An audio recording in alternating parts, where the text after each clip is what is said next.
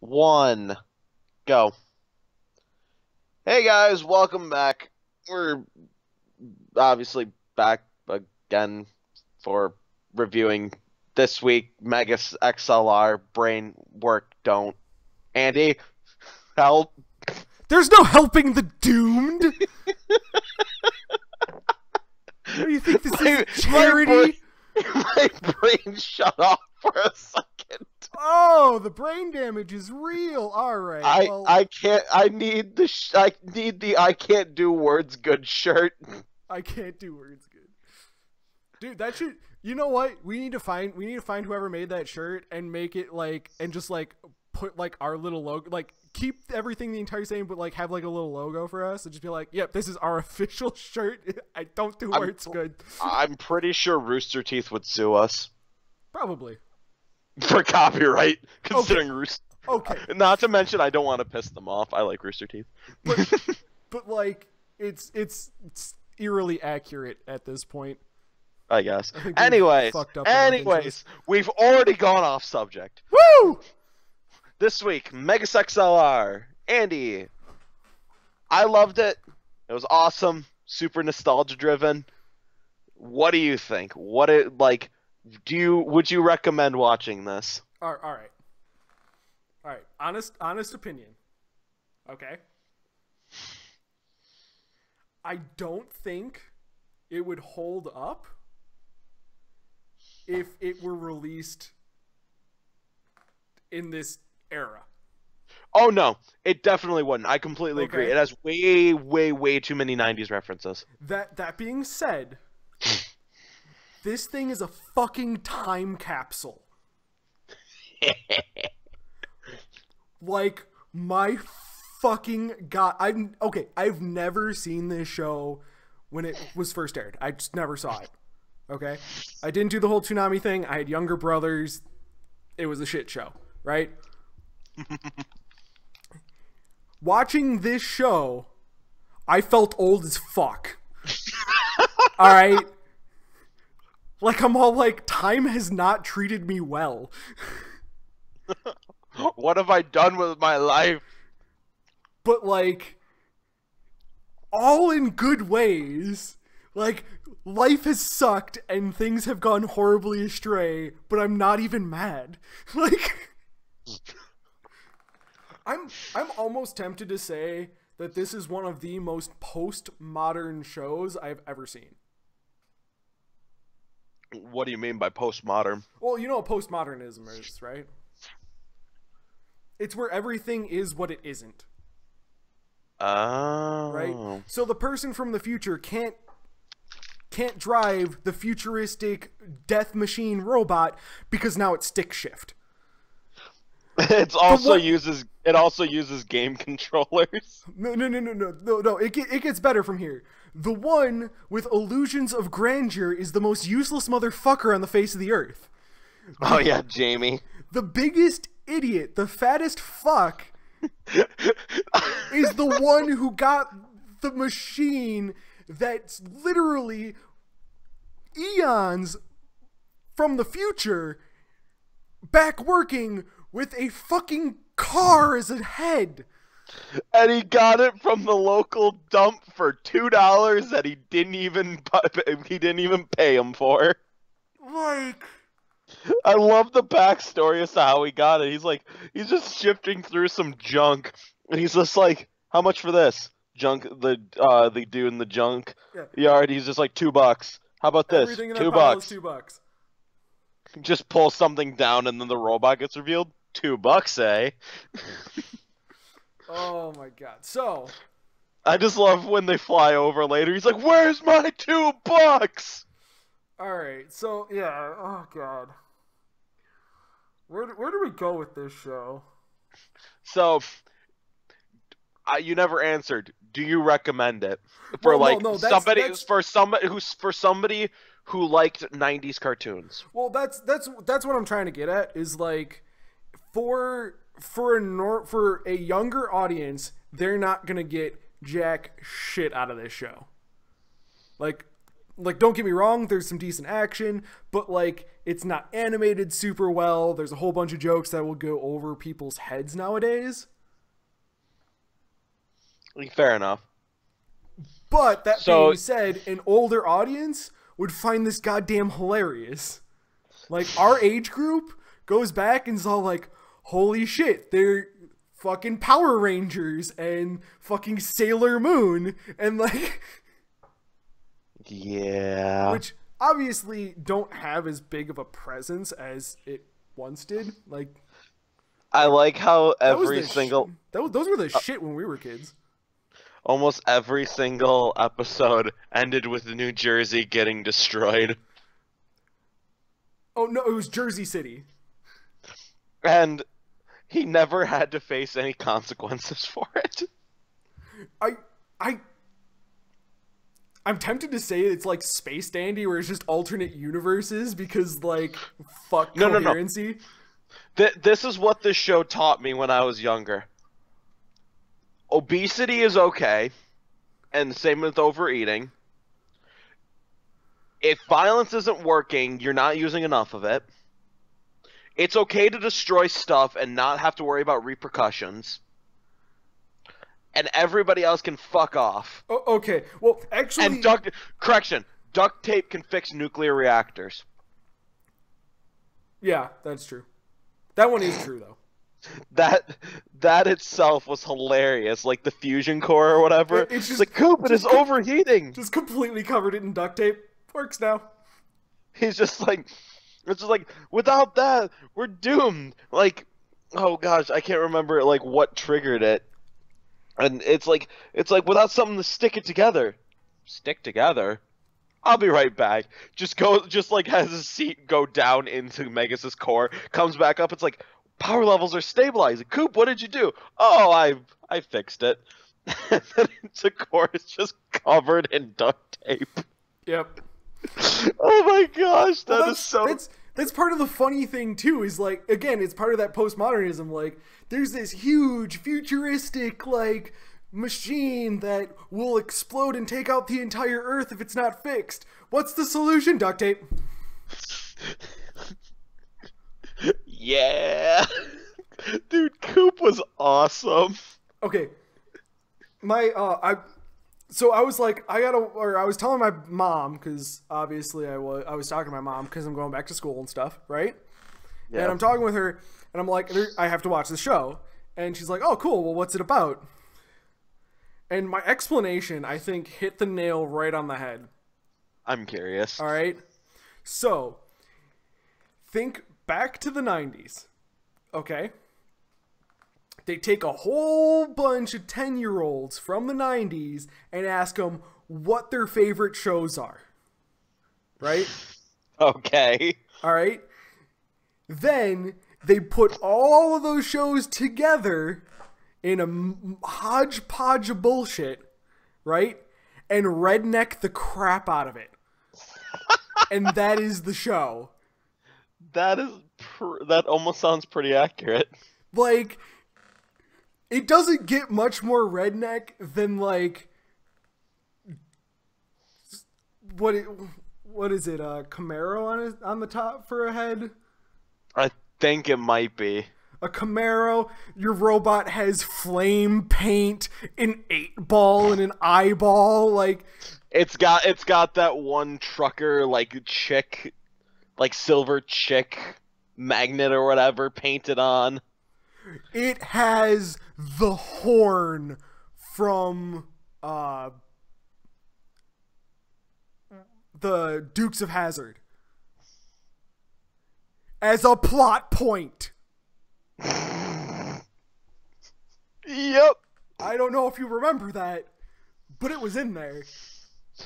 I just it was like there's just so many things and like every episode he oh he's like oh yeah check out this thing I added to Megas or th- you had Kiva okay because the three main characters are Coop which is the pilot slash fat redneck you've got Jamie who is the he's the one that like always has like sinister ideas and like gra- like ideas of grandeur and like ways that he, you could use the robot to basically conquer the world And ten out of ten useless.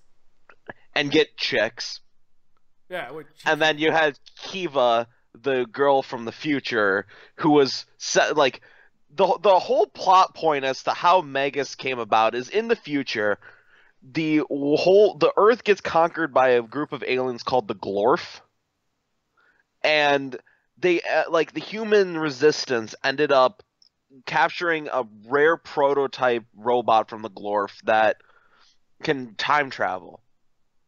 And what they were going to do is the humans were going to take the robot back in time to win to the decisive battle between the Glorf and the humans because the the robot would have helped win the fight for the humans because of how advanced it was. Well, doesn't really happen like that and then they get blasted into like the modern present day or whatever. I quotes around present now nowadays and that's when uh, Coop finds it, and that's when everything happens. And it's And- just and now we're going to completely ignore the Glorf for the next seven episodes. yeah, um, the Glorf come back every now and then, but but then yeah, and Kiva is like the super serious one who's like she's like she's she has like some future stuff, and like she knows she's like an actual like good fighter and like technically a good pilot. And Dude, that was that just was the thing in the '90s, though. Like, it was always the strong female, yeah. like ser- But super it- serious one. it was just really funny because like every time something bad happened uh, it's just like like right away it's just like where's where's the time capacitor the what the time capacitor the ability the thing that lets you travel through time coop just kind of looks up and has a flashback to him just smashing it in the fucking junkyard Dude, there's so like every time Kiva's just like Mega should be equipped with Oh yeah. And then it just shows Coop like either just breaking it or just damaging it. Don't worry, He's, don't worry. I fit the such sound. an idiot. How'd you fit the sound system in? Wait, was Oh. there anything necessary in there? But that's Oh. what like that's what makes it postmodern though, is because literally the person who's making all the adjustments and like actually making the thing work has no idea what the fuck they're doing. I want to know where he gets the resupply on rockets and stuff. Like they never explain that. Dude, uh, this again, it's more of a '90s thing, but like, don't explain shit. Like that's Just like his way of manually operating Megas is to use a DDR pad.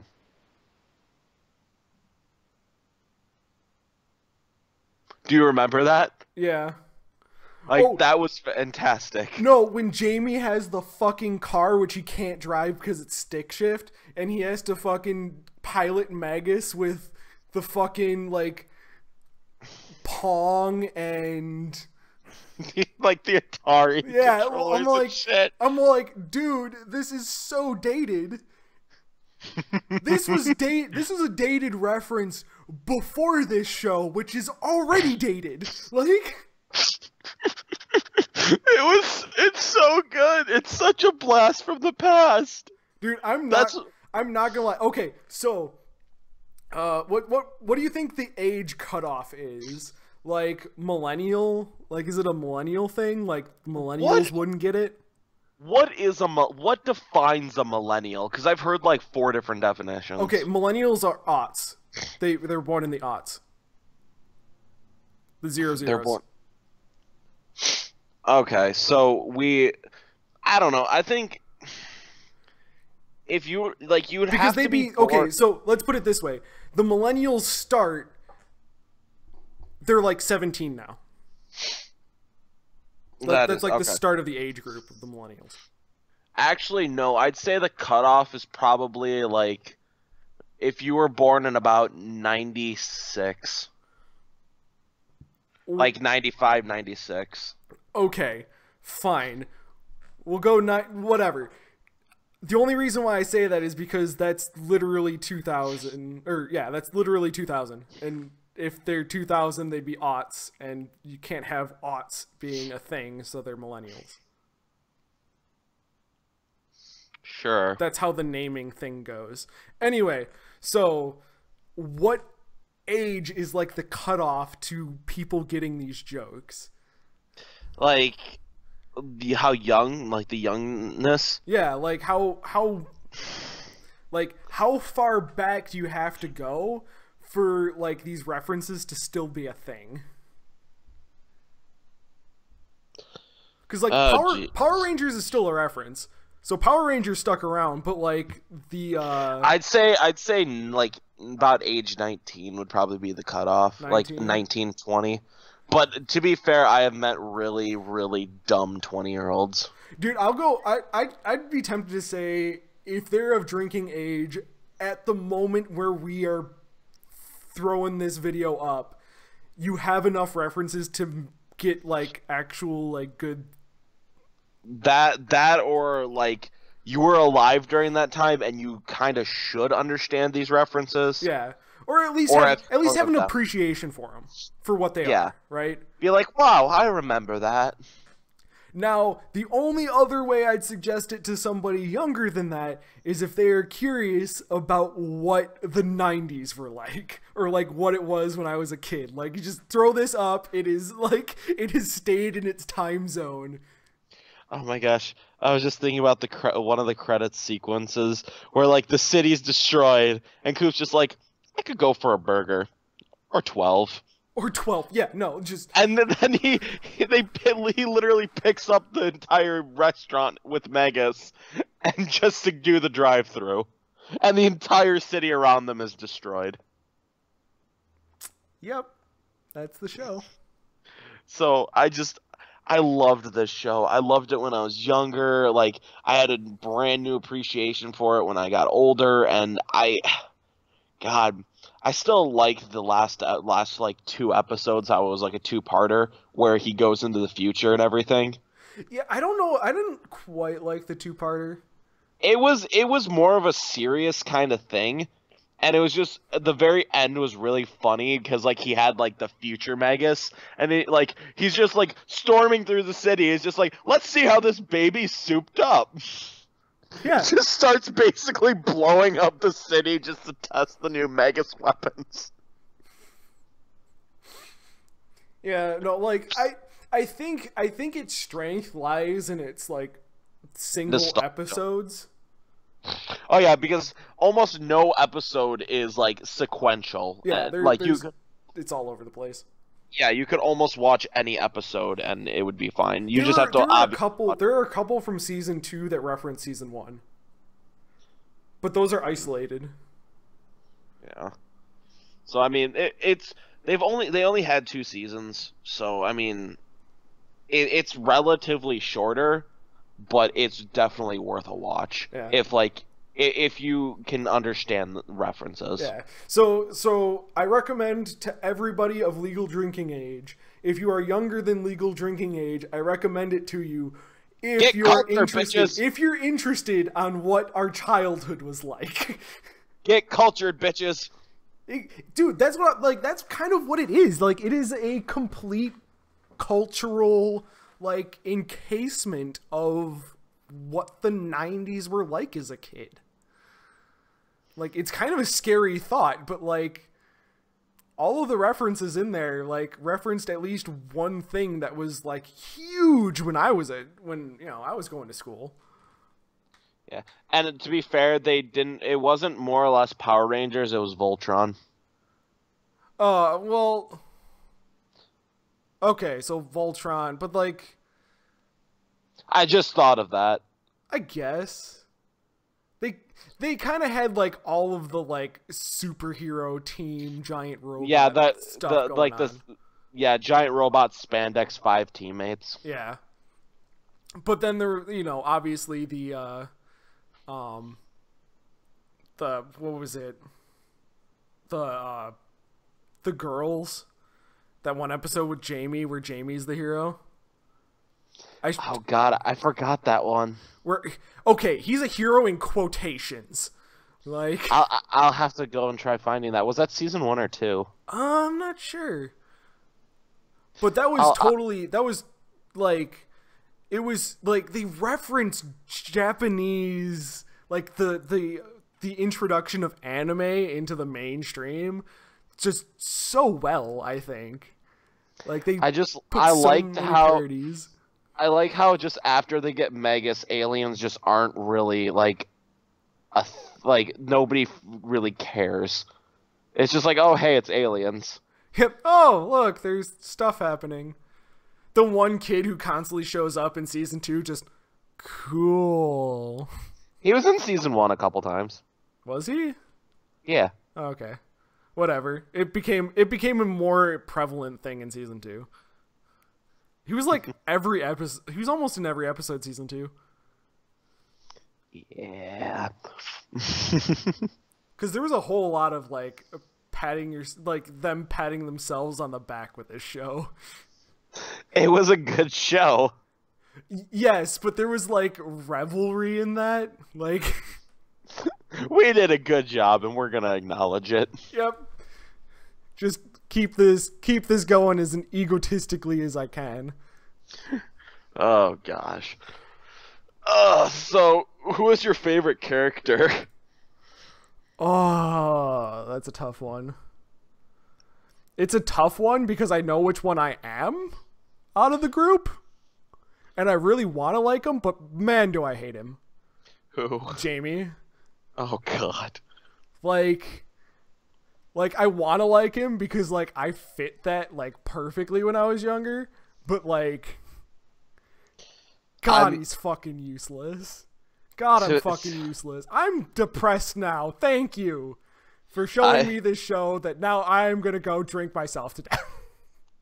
To to be fair, I think I'm more relatable to Kiva in the sense where it's like all situations I try thinking logically.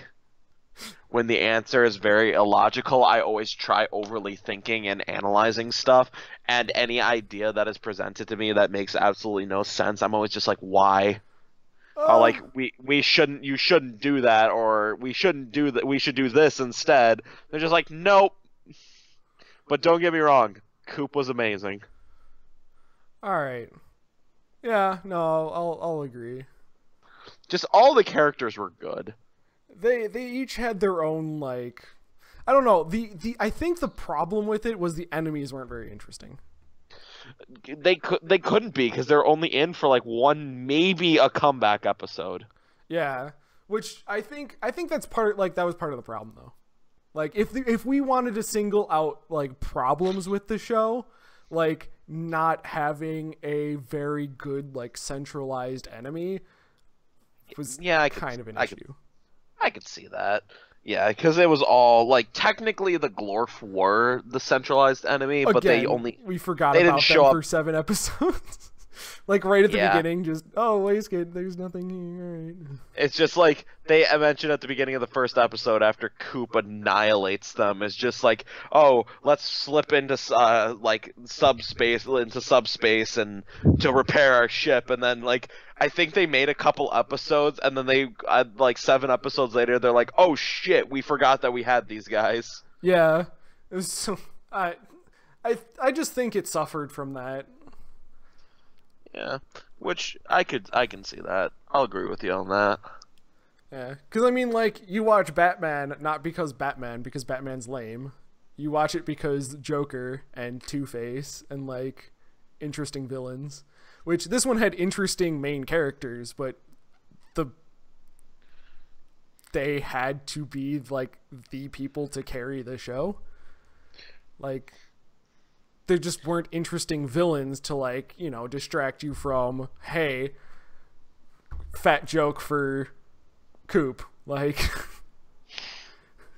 like there were so many. There are so many. I know, but like it became it became very samey because they didn't have interesting like side spin-offs with the and with the villains that they could have. I think that that could have been a thing. But how about that intro song? Oh my god. I had to watch, I had to listen to it like every time. I'm not to lie. It's so good. It's so 90s. Like I know. the whole just- show is stuck in the 90s. God. All right. So I think we've pretty much said our piece with this. Yeah, yeah, no, just uh, yeah, we're we're gonna leave it at that. Okay, so um, next week. Oh yeah, you haven't even told me, like in advance, what it is. Um, I, I what kind of show do you want to watch? It's up to you. I gave you Megas XLR, so it's your your retaliation with it. Oh God, because I gave you one that you didn't like last time. Uh, I actually don't remember how many episodes were in this show. Let me just check real quick. I it's not gonna take me very long, but uh, I want to make sure lot. that it's I I want to make sure that it's not like a super long series because that would be awful. I think Dude, episode okay so there's uh there's two seasons two seasons and it adds up to 22 episodes oh, that's not bad. What is it? all right so i'll give you uh Shinmai Maou no testamentio testamento yeah, you're gonna have to Skype that to me. okay, okay. All right. In English, The Testament of a Sister New Devil or of Sister New Devil. Interesting. The Testament of Sister New Devil. So you can totally expect the best translations because they can't even translate the title correctly. Sure. To be fair, all right, all right. To be fair, the trend the the translations are actually much better done in the show than they are on the box title. But what is it? I'm, I'm trying to I'm trying to remember what it was from. It's a uh 2015. Yeah, it had an original run from 2015 from January to December. Oh wow, so it's pretty modern. Yeah. Because Monster Musume was uh, 15 as well. Yeah. So I I I have a feeling you'll like it. And Testament of Sister New Devil because fuck Yep. English. Alrighty, so I guess uh, join us next week when we do that thing. There's boobs. Really? Yep. It's I wouldn't have guessed. it's a theme actually. Yeah, it seems like anything dealing with demons and devils always deal with frickin' boobs. And what's the problem with that? I'm not saying there's a problem. I'm just saying. I'm stating a fact. Anything else? No, I'm oh, good. Oh, suggestions. Put them in the thing down below because we want more stuff to watch. God, your fucking egos needs some stroking. I, w- I didn't even ask for thumbs up. I was just saying like give us suggestions for shows because I think Sorry, I'm- I'm just- continue, I'm- right. You want this I'm to just- continue? You want you want this to end? We can just stop right here. Okay. All right. All right. So we might not see you next week. Peace out, bitches. See you guys.